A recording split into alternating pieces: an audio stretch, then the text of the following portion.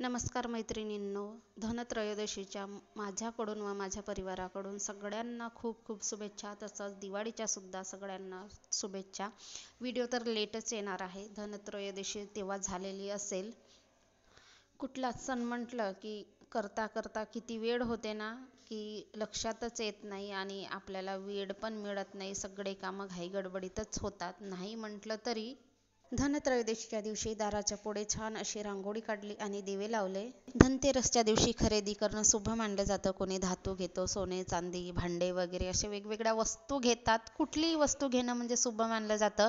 पण मी तर आजपर्यंत आईच्या घरी होती त्यावेळेस पण आम्ही कधीच काही खरेदी केलं नाही. आता लग्न झालं सहा वर्ष झाले लग्नाला. तरीसुद्धा आम्ही काहीच खरेदी केलं नाही. खरेदी करतो मागे पुढे होते. पण असं म्हणजे धनतेरसच्या दिवशी जाऊ आणि खरेदी करू यातलं भाग नसते. एकतर यांना कधी वेळ असते नसते. कधी पैसे असतात कधी नसतात. म्हणून आम्ही कधीच खरेदी केलं नाही. आणि वडिलांच्या घरी पण तसंच. मागे पुढे खरेदी केलं चला धनतेरसची पूजा तर आमची झाली. दिवे लावले रांगोळी टाकली दिवे लावले पूजा केली. त्याच्यानंतर आत्ता स्वयंपाकाला सुरुवात. म्हणजे कसं जर आपण लेटच जेवण करतो तर म्हटलं आता हे आपले जे कामं आहेत पूजापाठ हे करून घ्यायचं. त्याच्यानंतरच स्वयंपाक करायचा आणि गरम गरम जेवायचं. दाराच्या पुढे छान म्हणजे अंगणात छान अशी रांगोळी काढलेली आहे. धनतेरसची मी नाही काढली जे आमच्या घरमालकांच्या मुली आहेत त्यांनी काढलेली. पण खूप छान आहे तर त्यांचीच रांगोळी मी दाखवते. आणि ह्या वर्षी बघा आम्ही ह्या रूममध्ये पहिलीच दिवाळी आहे आमची. तर बिल्डिंगचं घर आहे आमचं घर नाही आहे आम्ही रेंटने राहतो म्हणजेच भाड्याने राहतो आम्ही. तर छान असं बिल्डिंगला त्यांनी सिरीज लावलेल्या आहेत. आमच्याकडे पण सिरीज आहे पण इथे आता अडकवायला खिडे नाही काही नाही. नाहीतर आम्ही त्या रूममध्ये होतो आणि त्याच्या पुढच्या पण रूममध्ये होतो. तर आम्ही बाहेर नाही लावलं होतं सिरीज पण आपल्या रूममध्येच लावलं होतं. खिडे वगैरे होते विंडो होती.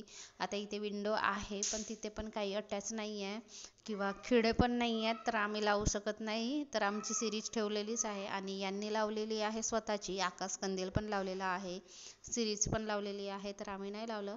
तसं सी आकाश कंदील लावायला पण आणि संध्याकाळच्या जेवणामध्ये मी बनवलेला आहे अख्ख्या वांग्याची भाजी म्हणजेच अशा पद्धतीने आम्ही बनवतो. आता मसाला भरून पण बनवतात आणि असं पण बनवतात पण मसाला भरलेली मला नाही आवडत आणि यांना पण नाही आवडत.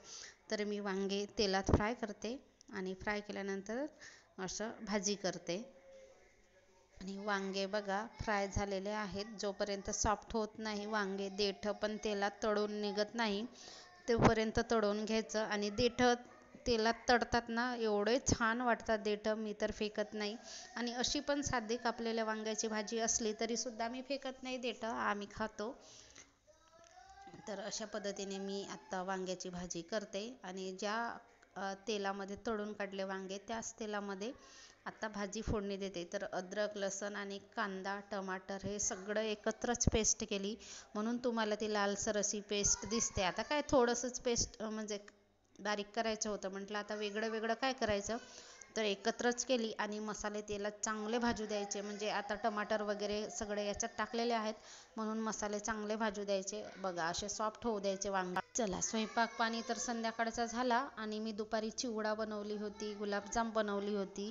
तर संध्याकाळी मी भांडे घासली नाही तर ते भांडे आणि आता आणि आत्ता स्वयंपाक झाल्यानंतर जे भांडे एकत्रच घाट घासते तर इतके सारे भांडे पडले होते. तुम्हाला काय सांगू? थोडं पण आपण काही केलं तर भांड्यांचा पसारा असतो आणि मला ना भांडे घासायला त्रास येते खरं सांगते. लग्नाच्या आधी मी अजिबात भांडे घासत नव्हती. सगळे कामं करत होती पण भांडे घासत नव्हती. पण आता घासावं लागतं.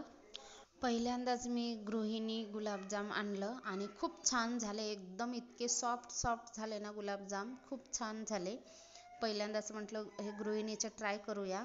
तर छान झाले गुलाबजाम. आणि मंद आचेवरच मी तळली गुलाबजामला. आणि इकडे पाकसुद्धा करून ठेवला तर पाकामध्ये वेलची पूड टाकली. आणि सोबतच गुलाबजामसुद्धा बनवलं. सगळ्यात आधी मी गुलाबजाम बनवलं त्याच्यानंतर चिवडा बनवायचा होता मला. आणि रुद्रांश पण गुलाबजाम गुलाबजाम करत होता. त्याने पाकिट बघितली होती. तर मी म्हटलं आता बनवू दे आणि याला पण खाते का तर बघू दे. तर खरोखर त्याने खाल्ली आणि त्याला म्हणजे आवडतात गुलाबजाम.